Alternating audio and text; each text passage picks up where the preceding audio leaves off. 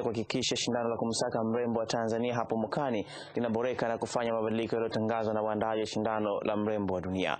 Hayo yameelezwa na kamati hiyo katika shindano la kumpata mrembo wa dunia mwaka elfu lililofanyika huko jijini London nchini Uingereza. Mwandishi wetu Angela Msangi atuletea taarifa zaidi.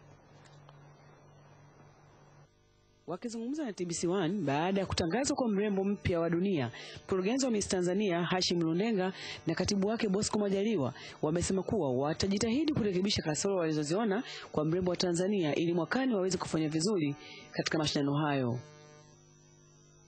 na kwamba kwa bahati mbaya tena Tanzania hatukufanya vizuri kwenye mashindano hayo, lakini tuna somo gani zuri kwa Watanzania?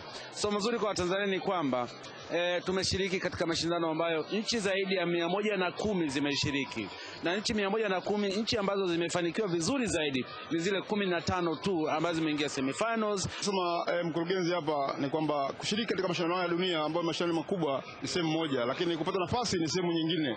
Hivyo basi nafikiri tutajipanga vizuri kuona kwamba makosa makosa yako wapi, wapi pa kujifunza, lakini kubwa zaidi ni kwamba tumeshiriki na tutaendelea kushiriki. Upande wake mama wa Vodacom Miss Tanzania Sabrina Hamis ameeleza kuwa ameyakubali matokeo hayo na kumpongeza mwanawe kwa hatua kubwa aliyofikia.